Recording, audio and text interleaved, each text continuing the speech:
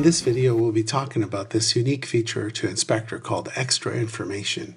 When you import a DDR, you have the option to gather extra information.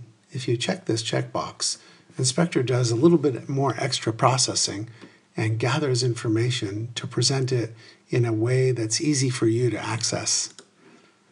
So let's take a look at the dashboard and go to the Extra Information tab over here and what, what Inspector does is it normalizes all the information in these different areas, but we're just going to look at a few of them. So for example, ever wonder if you're using indirection for layouts? Well, Inspector can tell you because it finds all the places where you use get layout by name by calculation or get layout by number by calculation. So that's one of them. Let's take a look at another one. Functions. It also gets functions by any any of the functions that are used by by FileMaker, and it represents them here so you can see where they're referenced. And you can also navigate to them simply by clicking this this arrow, and it takes you right to the item in question over here. So that's a quick way to navigate with it.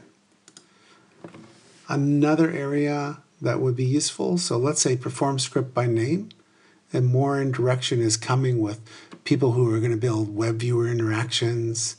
You'll need to know where you're using perform script by name. So this can tell you. Uh, there's a whole slew of options available for state. So for example, you could say wait for completion and find the two uh, types of Boolean options that are available for perform script on server with wait as true or wait as false. And then you could go dig into those script steps and take a look at where those are, are referenced.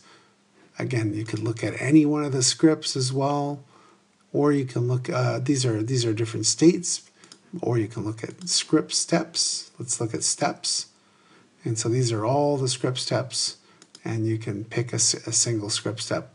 Delete all records, 40 references of it, and these are all the places where it's referenced. This is really indispensable, and I hope you enjoy using it.